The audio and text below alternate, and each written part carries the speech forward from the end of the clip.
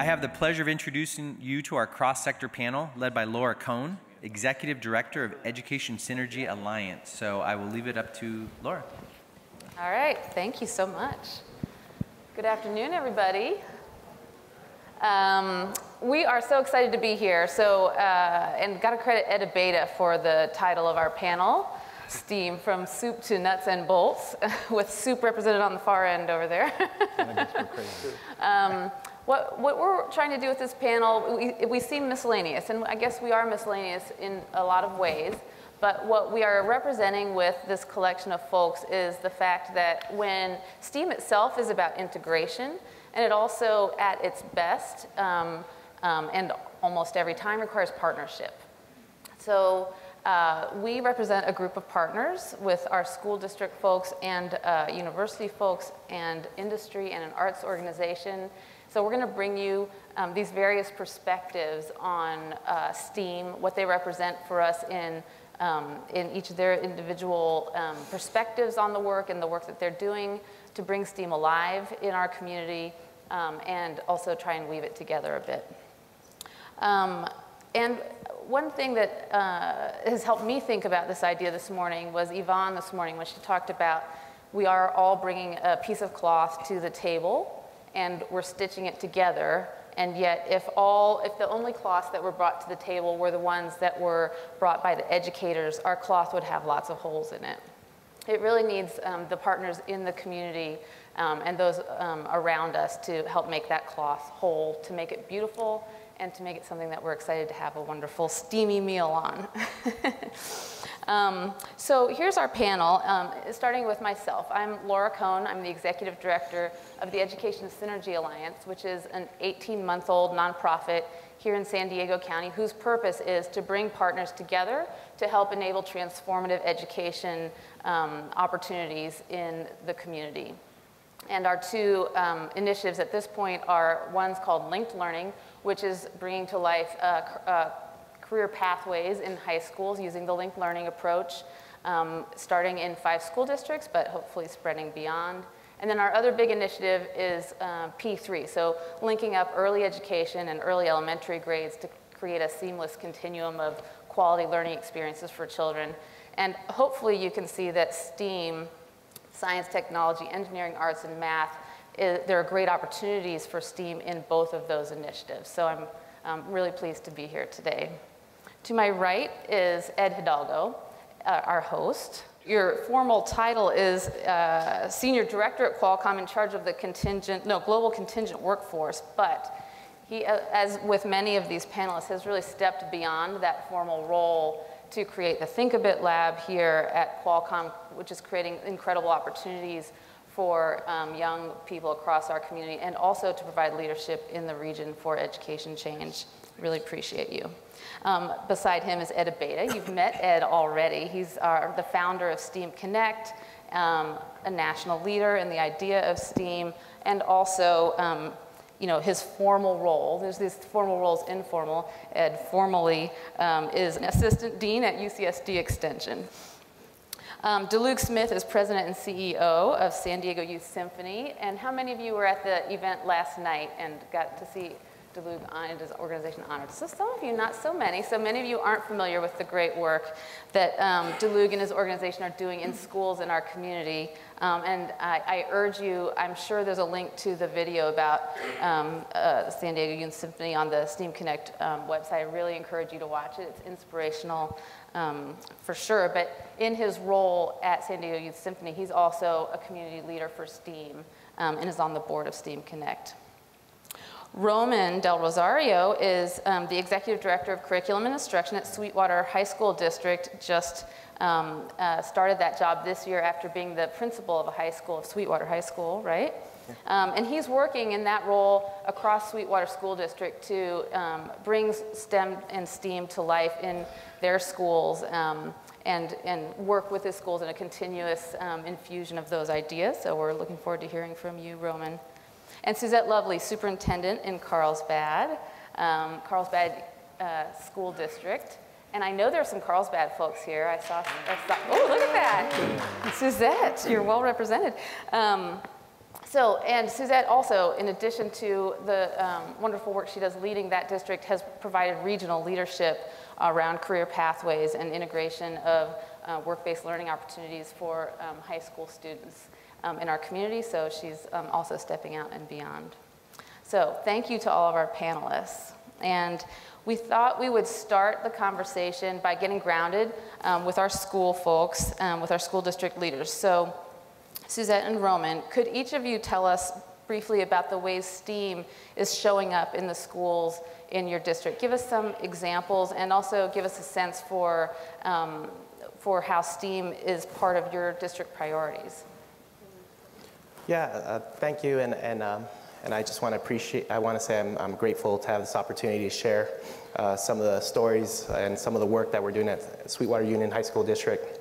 So uh, as, as someone um, who's a former science teacher, um, I, I grew up in South San Diego, the same region where Sweetwater Union High School District is. And, it, and when I went to UC Irvine, uh, it was real obvious to me that um, I was ill prepared for those, for those challenges and the rigor and the type of thinking, critical thinking as a biology major at UC Irvine. Mm-hmm. And, and that was something that I took with me as, as, as a personal mission to bring access to students um, to those types of experiences that, that we didn't necessarily have. So at Sweetwater Union High School District, um, we've been fortunate to, to be part of a pilot where we're working on a computer science class called Computer Science Principles, which is a pilot class that's going to be hopefully uh, a College Board approved AP course, but it's not your traditional computer science, uh, AP computer science class. It's more aligned with the computational thinking and it's more accessible to, to a wider array of, of students. And, and in addition, um, as we move into the next generation science standards and um, our Common Core math standards. We just, there's all these different opportunities that we've had uh, to incorporate computer science and robotics into our math curriculum. Uh, we've partnered up with, with UCSD on computer science courses in our middle schools. Uh, we are working uh, collaboratively with our arts folks. So, so um, I think a lot of the progress that we've made over the last few years is, is that um, there's so much, there's so many great ideas. And, and just, uh, there's like-minded uh, folks that really understand the, the power of being able to, um, to be forward thinking. And, and this is a great opportunity in education, I think. You know, we've, for so long, we've been chasing after um, test scores, a bad policy around accountability, and there wasn't really the space for teachers to be able to take a step and, and, and realize what we all know is true is that everything's connected. And the more we facilitate and foster that environment of collaboration, the, the better outcomes we're going to have for our students. Absolutely. Suzette. Thank you for having us here today. For all of you that are teachers in the audience, you may not know this, but you have a school board, and so generally anything that happens in your district probably comes from a board goal. And so in Carlsbad, like all of your districts, we had a, have a board goal that all of our students will leave the K-12 system ready for college and career. It's very general, but then within that, there are sub-goals and, and metrics. And one of the specific areas is STEAM education. And we were very lucky in Carlsbad. We opened a brand new high school in 2013, Sage Creek High School. It's a beautiful place. We invite anybody that would like to come and visit. And we opened that with a STEAM emphasis. We don't have boundaries in the district. The board decided not to assign high school boundaries, so we have now Carlsbad High School and Sage Creek. And so each high school has its own unique draw. Carlsbad High School is focused more on the arts and the telecommunication and those kinds of pathways, which would be the A in, in STEAM as well. And Sage Creek is focused on engineering and biomedical sciences, and we're using the Project Lead the Way curriculum. We're also a member of one of the five linked learning consortium districts in the county that Laura mentioned, with uh, city schools, and I know we have a lot of folks from Unified here today, Oceanside, Escondido, and Grossmont. And then I'm really pleased to say we have so, such momentum that we have a team here from Calavera Hills Middle School with us, my fans here in the middle. Yay. Yay. and, uh, and really, it is an organic process, although the board has set an overarching goal. We know that without teachers and an interest in the principals and the leadership there, uh, to, to drive this. We're looking at expanding STEAM to our middle school level and actually starting with two or three classes, I believe, next year using Project Lead the Way, a medical detectives class, and a couple other classes in the engineering pathway. So it happens small, and that's how it's uh, rolling out in Carlsbad. Yeah. I want to um, ask a follow-up question to you both that um, relates to something that you said, Roman, that uh, you said that we have a great opportunity in education right now, and I think you were um, referring to the rollout of the Common Core standards and the next generation science standards. Um, and you are implying that it's helping to promote integration. And I, I wondered if you could share with the audience the ways that's true, and maybe if there are any ways that you're seeing that, um, uh, that, that, that there is some competition, because I know that the uh, teachers and disciplines are really having to learn the new standards and think um, differently about how they're implementing their curriculum? Is there also, in that sense, some resistance to, some may perceive that it takes extra time to integrate and collaborate with their colleagues or with partners from the community? So just wondering what your experience is in, in your districts. Well, um, you know, schools are very uh, interesting places, and, and, and I, I, I am a huge advocate for our our, our public school systems because they're, they're, very, they're democratic, you know, and people have different beliefs and ideals, and they're, they're in this air, space where they're allowed, everyone's voice matters.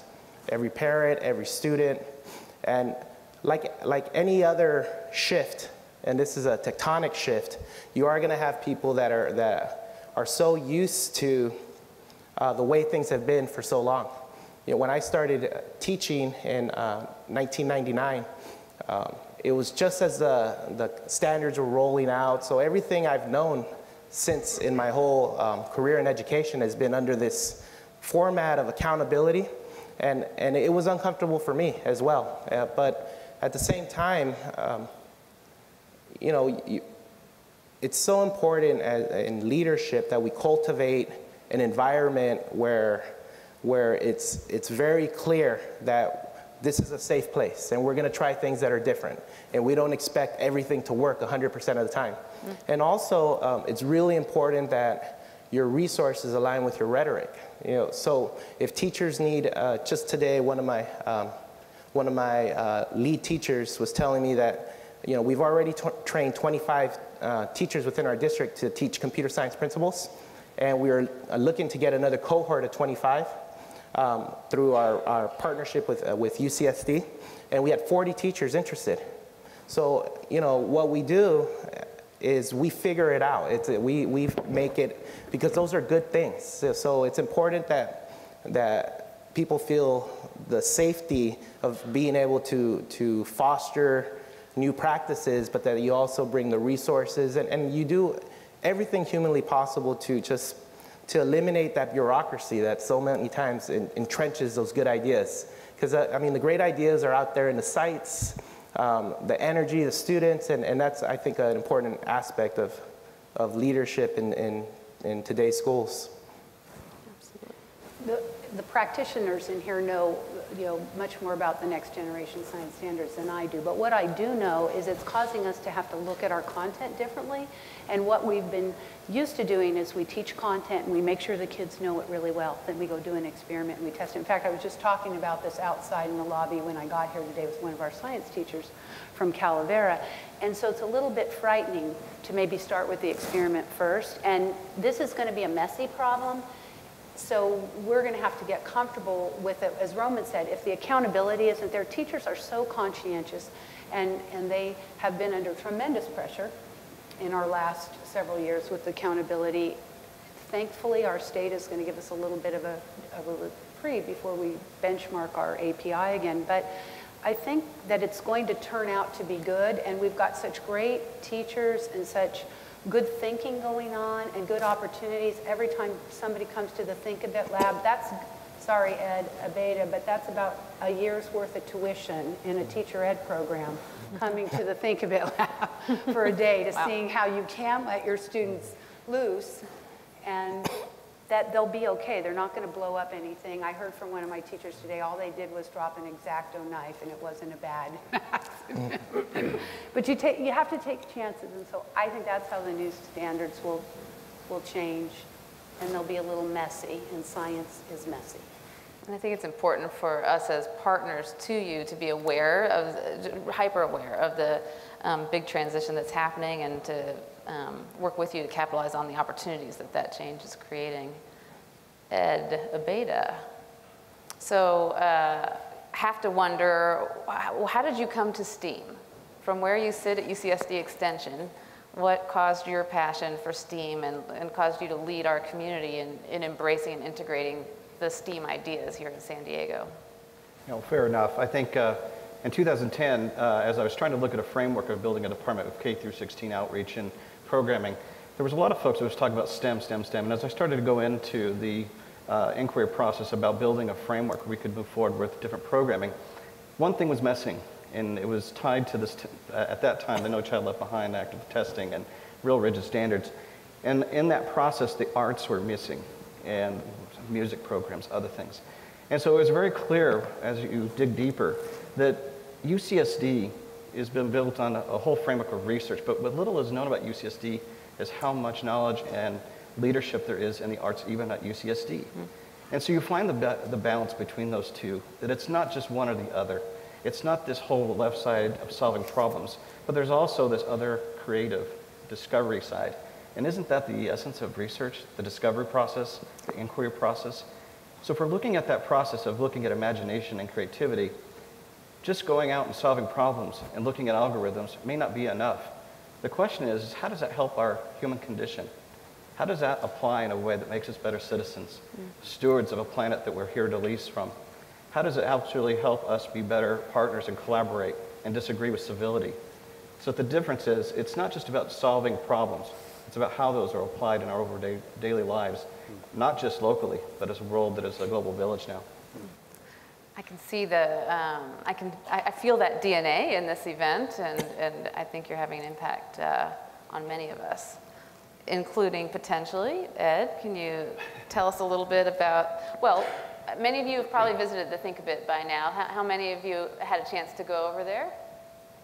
Okay, good, a good number. And how many of you have actually witnessed students experiencing the Thinkabit lab experience? So about, about a third, actually.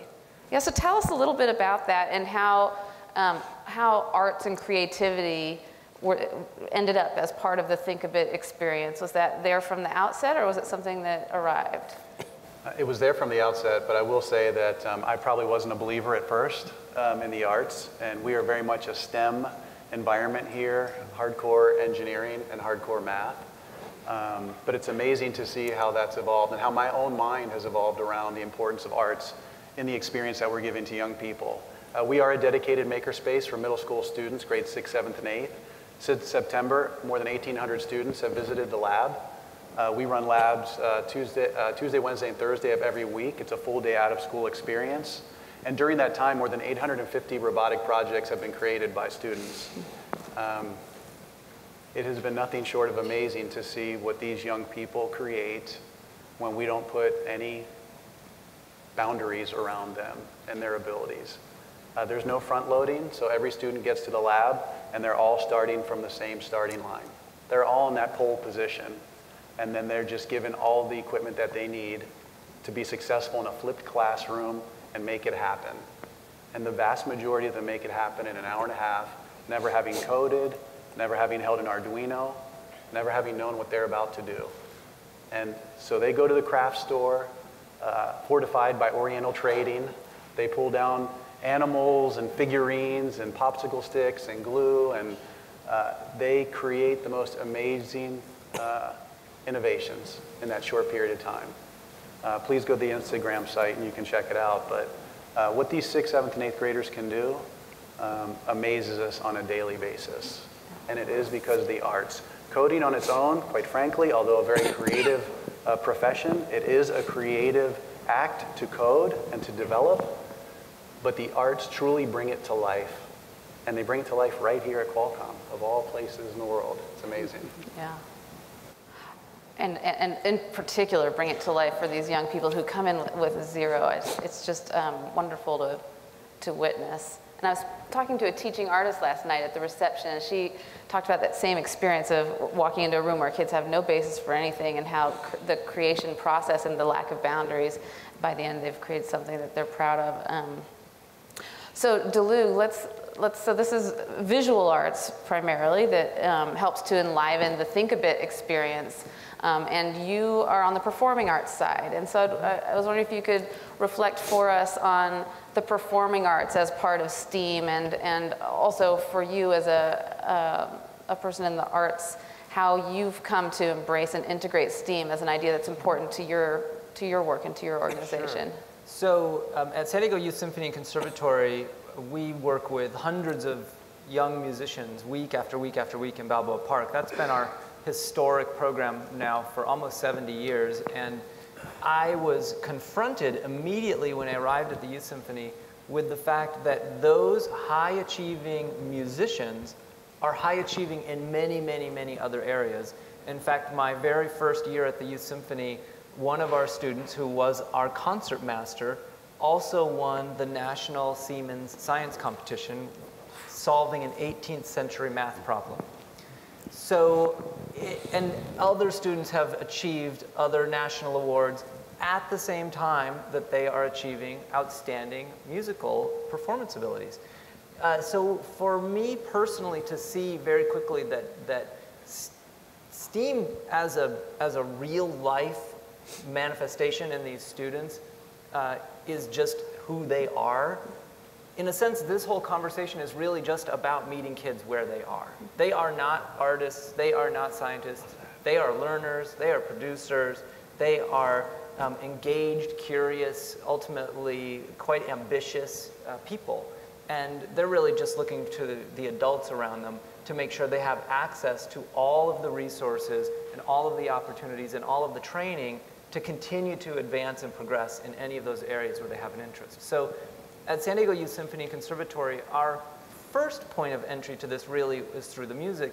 But as we started to look at where music was not available to students in the community, we also could see that there were other subjects not available to them. So we've collaborated uh, most, most robustly with Chula Vista Elementary School District, but we've now expanded our footprint into collaboration in City Heights, San Marcos. Uh, we're now working with another community group in Solana Beach, and then we're advising um, school districts and, and community programs all over the country on how we've successfully helped a school district rebuild its own arts education capacity.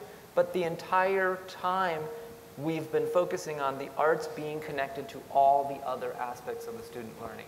It's not just about creating great performances, it's also about creating a great connection across all the learning spectrums. And so for us, as a performing arts organization, that's how we've approached this. I'd like you to say a little bit more actually about the act of performance mm-hmm. um, and what it takes, uh, what it requires for students to learn about themselves and the, the, the process of uh, creating a performance that you think relates to STEM because we Sure. Yeah. So uh, actually, I'm going to share a simple anecdote. Um, in 2013, there was a, a Stanford professor, Tom Stoddard, who won the Nobel Prize in Medicine.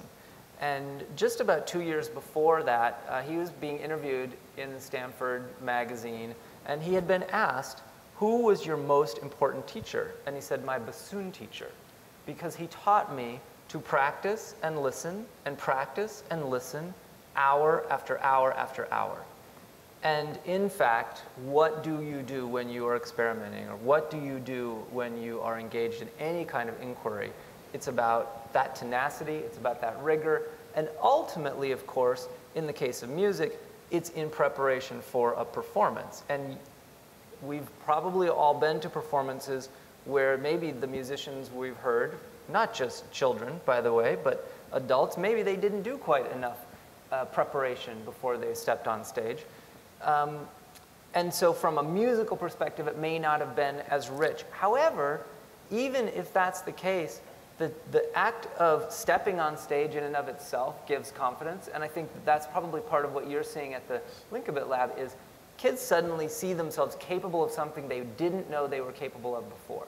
And so the act of performance, in a sense, reinforces the, the whole range of the possible, not just as a musician, mm. but in all things. And really, I'll say when, when we had our first cohort of, of elementary students transition into middle school this past year, I was at a performance and I could see in the demeanor and in the confidence and in the social maturity that they exhibited that even if they had given up music at that point after four years, they had gained the skills they needed to actually achieve whatever they wanted in life.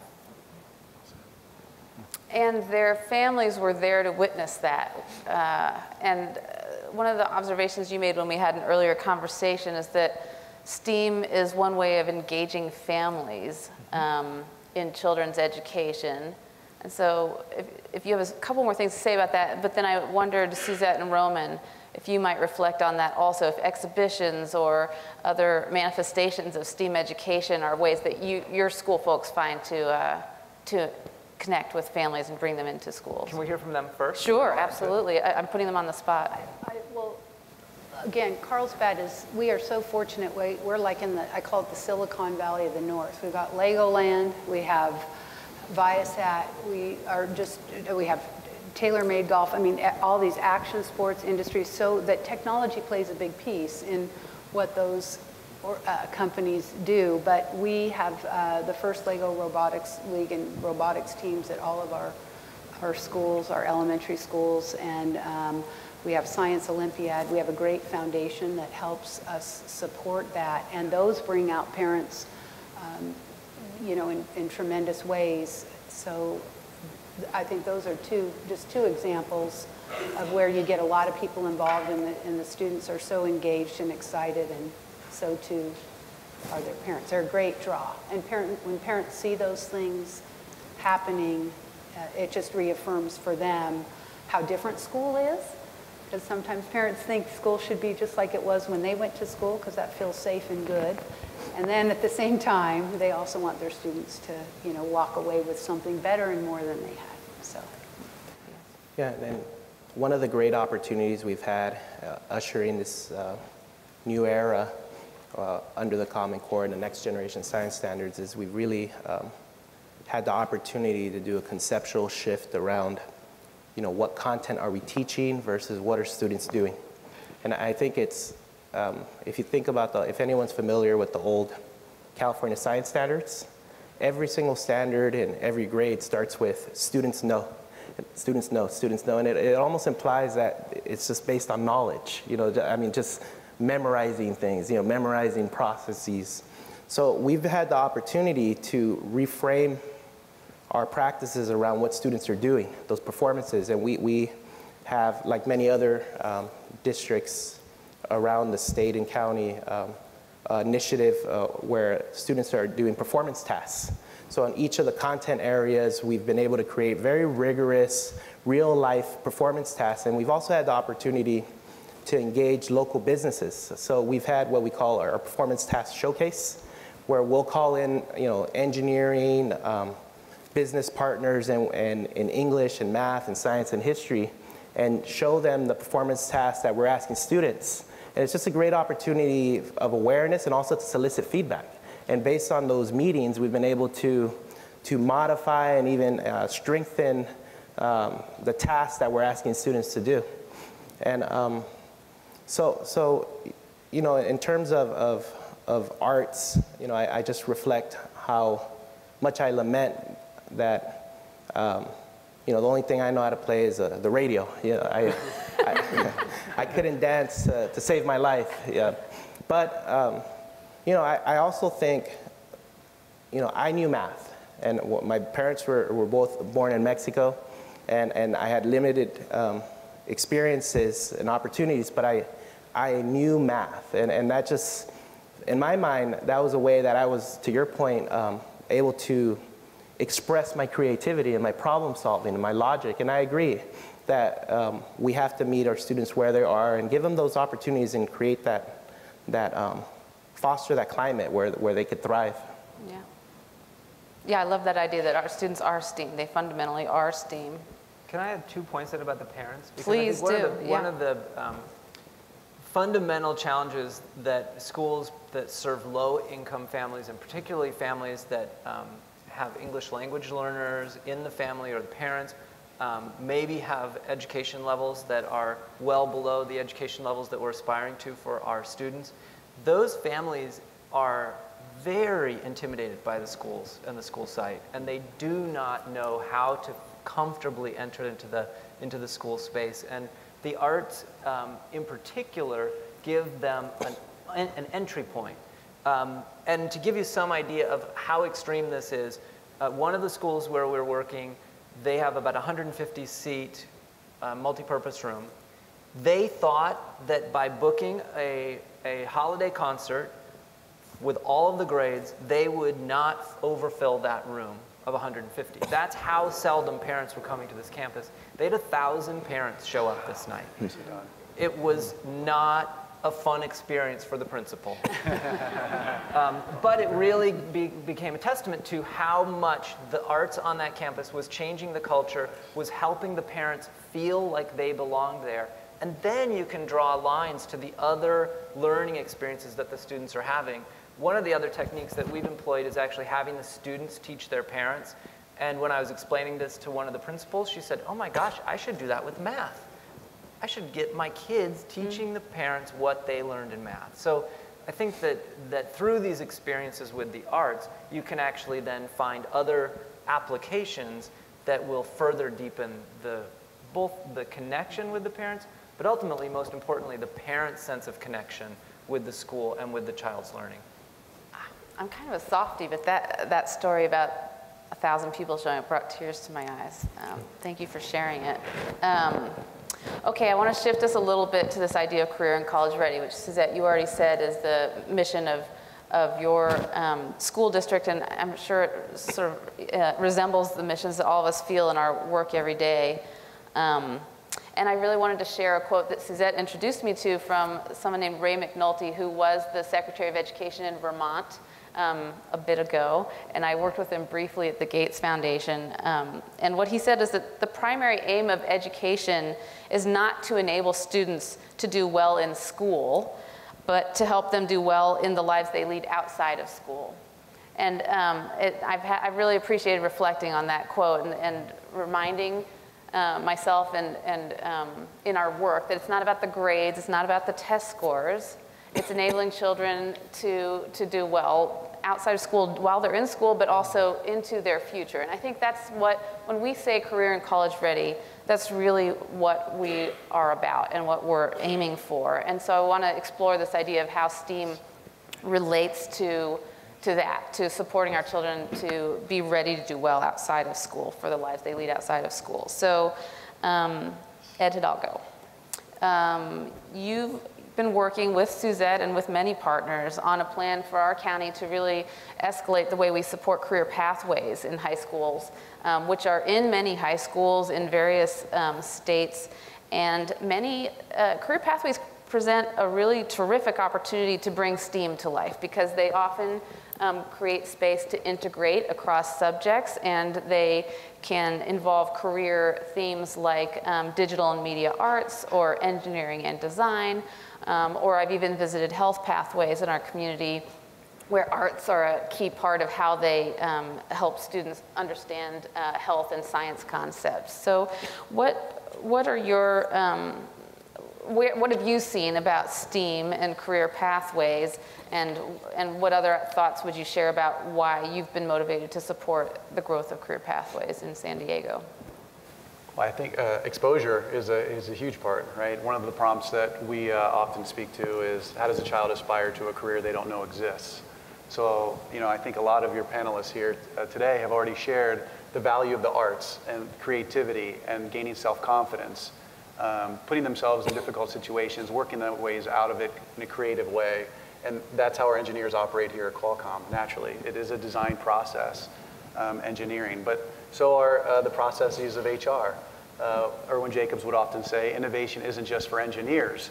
Uh, he was speaking to the 30% of us who aren't engineers here um, that need to come up with creative ways of solving difficult problems. And I think the arts, um, in many ways, allow us to better understand ourselves, understand how we creatively solve problems.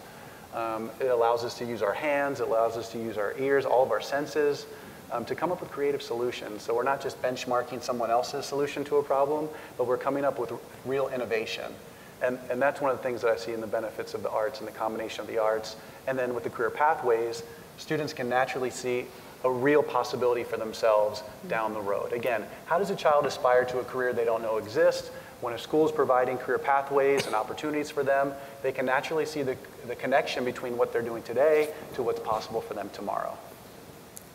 Suzette, what would you? Uh, I was at Viasat last night. For those of you that don't know, Viasat is a, a large company in uh, Carlsbad. They're all over the United States, but I think their headquarters is in Carlsbad, and they have a lot of government contact, uh, contracts. They have developed satellites that we use in our military now, and they, they do a lot with telecommunications and everything that we're using every day. Um, they have probably their, their fingerprints or handprints on, just like Qualcomm has in the, tele, uh, the coding industry.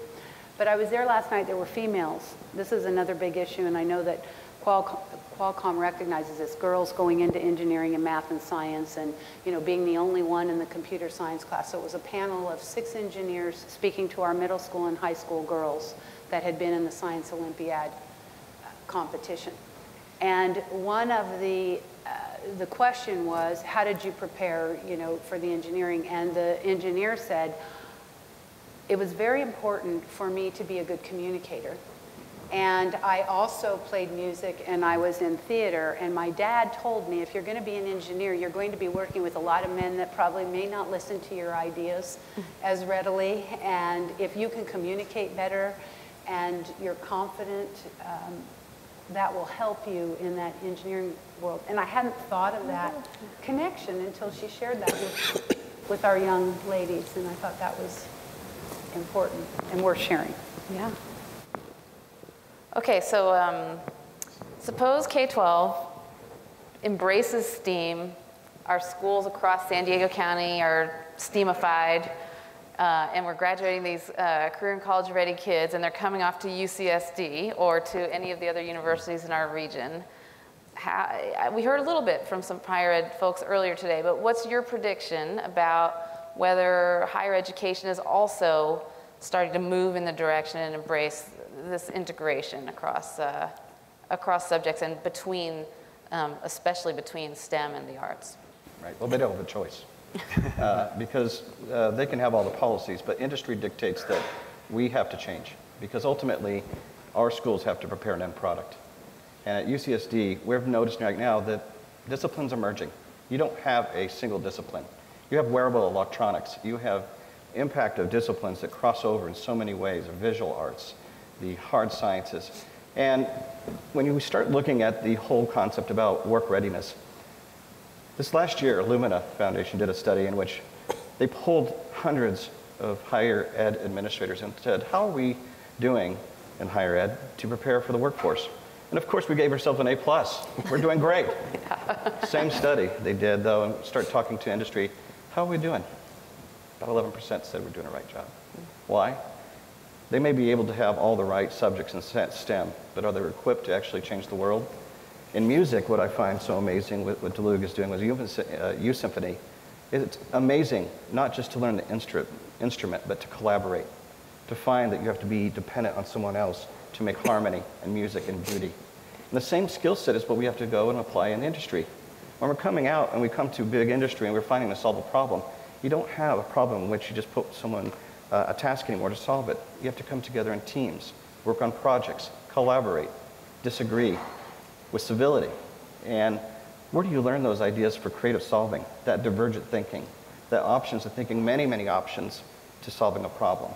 And I'm very blessed growing up, I have to say, because my father was a first generation student, came to college, and he was an English and math major, but at nighttime when we were studying growing up, my sister, who was actually an engineer, we had the beauty of him playing guitar.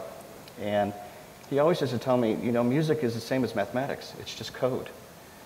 But more importantly, it allowed him to express himself differently. And I find that also, as we look to the future, we have sometimes an history about how to express ourselves, how to let out the stress. The arts also has another element to it of uh, the human condition, of being able to pacify the lines, you know, being able to have expression in which is not in a way that could be disruptive. So if we look in the future for preparing, we have to really think about what are we preparing to solve STEM and be a great scientists? Or are we actually preparing them to solve problems? And not just, for example, to have science for science sake, but how do we teach those leaders in Washington to be better decision makers? How do they work with the rest of the world? How do they be contributors and know how to reach across the aisle to solve problems? Those are the concerns that are tied directly to our overall collaboration preparing our workforce and ultimately connects right back into where we're teaching in K through 12. So it's a pipeline, it's all through the life stages, and the arts are part of that equation that enable us to think creatively and ultimately see the beauty and harmony between the differences that make up our world. Okay, so Roman, let's see, let's go back to the K-12 part of the pipeline. and let's talk about school leadership. So if we talked, if you went quietly, because we shouldn't do it publicly, we wouldn't want to make anyone uncomfortable. But if you went and talked to the principals in Sweetwater and you came to them and said, I want to talk to you about STEAM, would they all know what you were talking about? Would they, maybe they would know what the letters meant, but do you think they would all have a sense for what it would be to, to do STEAM in their school? Or what, how, how predominant is it, I'm trying to get at, in, uh, in, uh, in school leadership? You, you know, um, I think we're fortunate that, um, in my opinion, it's been snowballing, you know, and it's something that the sites are very much anxious, not, I mean, they, they have a certain level of, of awareness and readiness, but they're, they're hungry and thirsty for more. Uh, last week, just last week, I, I brought in uh, two of the professors from UCS, three of the professors from UCSC that are working with us to talk to all the principals about um, our, where we are in terms of our computer science principles. Um, we also had a STEM symposium um, in January where we brought in, all, we have various engineering pathways through Project Lead the Way. Uh, all, all, of our schools uh, have robotics stipends, so there's robotics clubs in every school. We have um, numerous uh, computer science clubs that participated in the Cyber Patriot competition. So it's something that, that I think if you would have asked two years ago, it would have been very, very minimal, but it just in the last year, I feel that that awareness has just been, been rising and rising, and I think it's a testament, um, it's to uh, our um, teachers and administrators and counselors' willingness to engage with, with numerous thought partners and leaders in the field. Like, uh, I know we send um, probably out of our um, uh, 11 comprehensive middle schools, I know we send all of them to the, to the to lab here in Qualcomm. So those types of opportunities are, are just enormous. Um, we have uh, science fair at every school, and we, we participate in the science festival. Uh, you know, Ed's been a very valuable thought partner um, in helping us just raise the awareness. And, and I would say that it's more than awareness right now, it's a hunger and excitement to build more uh, STEAM programs in our, pro in our schools. I just want to say, uh, I think one of the tenets, not only of what we're talking about, but really what we've heard throughout the day today, and Ed started it this morning by saying, you know, this is, this is an effort. The STEAM effort is a combination of government, policymakers, educators, community and community organizations, and industry.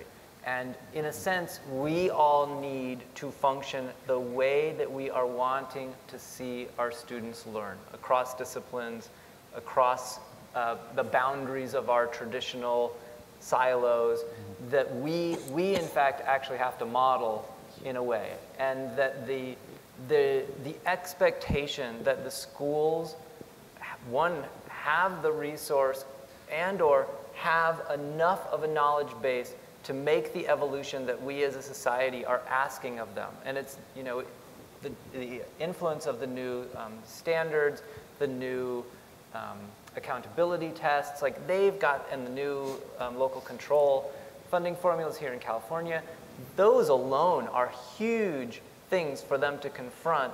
And at the same time, the rest of the community is saying, and we want you to do this, and we want you to be prepared in this way, and we want you to, and we want you to.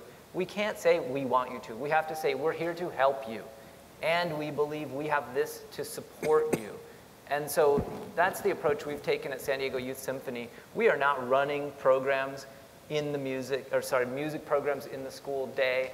We are piloting some work. We are helping the school district rebuild its own capacity. And I think that the kinds of projects that we're hearing about here from Qualcomm, and I know Ed, you said last night, we need more industry in San Diego to step up in the same way. That, that is as much as any other actual instructional content or concept you may take away from this day is the notion that this is a community effort and it is dependent on all four of those pillars to be successful for the benefit of all of our children and all of us. Yeah, I, actually wore my partnership pin today to exemplify those ideas. Um, Suzette, what, uh, so making those partnerships come alive, what are some facilitators, what are some impediments, um, and you know, towards the goal of STEAM? What do you see as because uh, we need this this was a room of adherence and so we are also advocates. We talked about that earlier today and so to this room of potential advocates for steam and potential partners for your schools what would you um, tell us about both the opportunities and the things we need to work to overcome?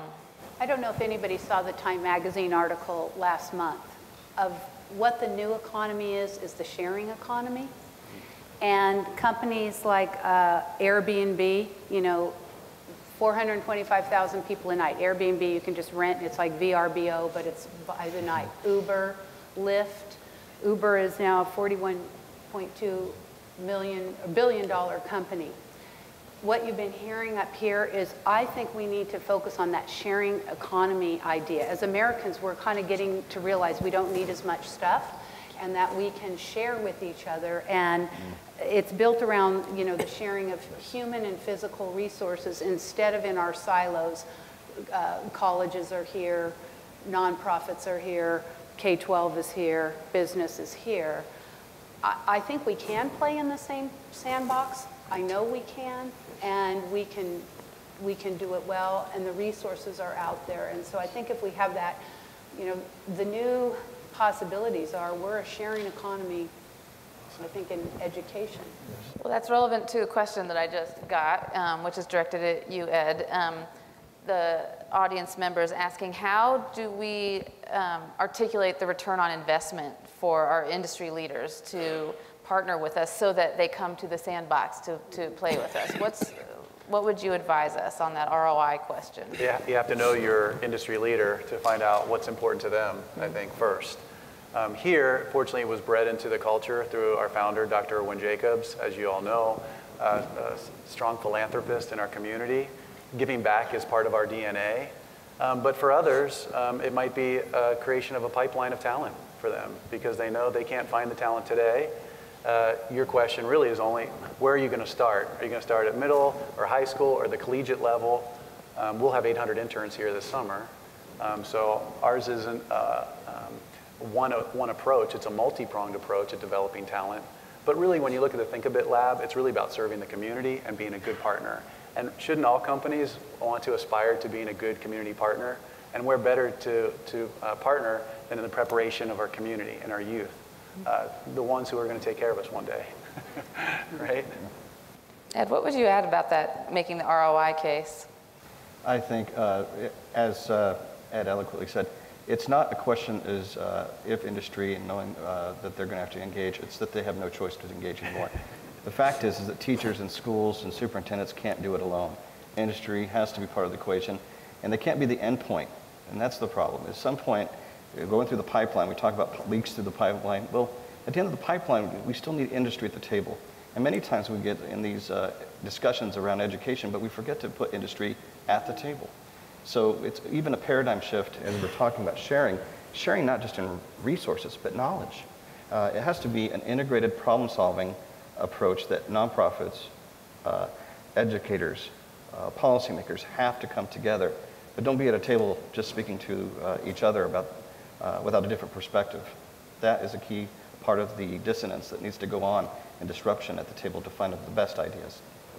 And if I might, we have found in this, we have applied for two grants in our county as a region, a $15 million grant and a $6 million grant, a Career Pathways Trust grant. Ed was very helpful as a business partner in that, and we're waiting to see if we get those grants in May. What we, and we have to engage, it's a workforce development grant, so you have to engage your business community in that process from the beginning. And what we found as we were developing that grant, industry wants to be involved. Mm-hmm. They want to help us. They don't know how. And, and they're getting less fixated on the ROI. Mm-hmm. And they recognize that a metric on a test score isn't the only way that we can show that students are learning and benefiting from their partnerships. We have to be able to tell them what we need. And I don't think we in, edu- in K-12 education have been able to articulate that as well.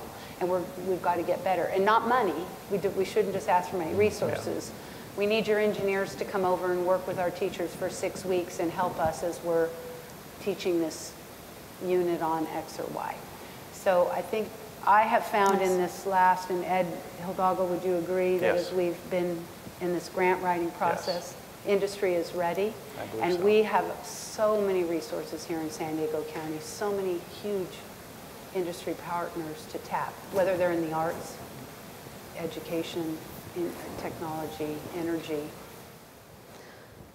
So I, I think we, um, we're detecting a strong sense of imperative and, you know, even, uh, and willingness, and that's great. I want to bring it back to students for our last note, um, Ed, because a key part of the Thinkabit experience is the career awareness um, training that you give to kids or the career awareness experience that you give to them in the beginning. And um, you had a recent experience with Vista Principals where their um, experience of doing that with you helped them think about personalizing learnings. If you could describe a little bit more about that so that we um, get the kids back in our heads um, as we close out this panel. Absolutely. Well, the Thinkabit Lab actually came out of uh, career counseling practice that we started here at Qualcomm back in 2009, which seems like an unlikely place to start a STEM lab or a makerspace.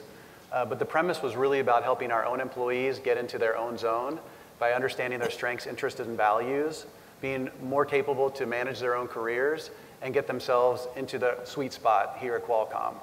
Um, the premise being, too, that if you can get an employee in their zone, there's a better likelihood that they're going to be highly engaged in their work, which means they're going to be more productive. So, as we've now had over 8,000 employees go through this practice, throughout the years, we started adapting uh, our, our teachings uh, to our, our youth that were coming in. And uh, it's been a quite, quite an interesting experience, actually, um, when we're using instruments like the Strong Interest Inventory, in some cases, the Myers-Briggs Type Indicator, and the StrengthsFinder 2.0, uh, to help these students understand their own strengths, interests, and values. So as we've shared this with educators, it's very interesting. Um, they start coming up with these statements of, wow, we should really start with the student, helping them get into the zone, right? So why give a child um, access to career pathways if they don't understand their own strengths, interests, and values and how they align to the world of work? I failed algebra three times in high school, but that's where I spent most of my summers doing remedial math. Um, I'm social, enterprising, art, and artistic in my strengths. I'm not conventional, realistic, or investigative, which most closely align to uh, mathematics, computation, computer sciences, engineering. Um, I'm in my dream job today. I'm in my zone. I'm deploying my strengths, interests, and values every day here at Qualcomm. How can we help our young people? Because believe me, at sixth grade, they're very much understanding the importance of values and their own personal values. And then for them to understand that they can align them to a, a job, to align that to a job that one day they would love, they never thought that was possible. And there's ways that we're adapting those instruments to be able to use in that way. And it's so exciting to partner with Superintendent Lovely and other superintendents who are asking, how are you doing this? How can we do this? How can we partner on this? And um, I think it could be a game changer. For us, N equals one. Start with the individual. And I, I love, I love that that's emerged from this panel, that STEAM is a way of finding students in their place, finding what's, what their strengths and helping them discover, sorry, helping them discover what their strengths are, what, what inspires them, what motivates them. Um, and STEAM is a powerful way to get there. Thanks, everybody. Thank you. Thank you. Thank you.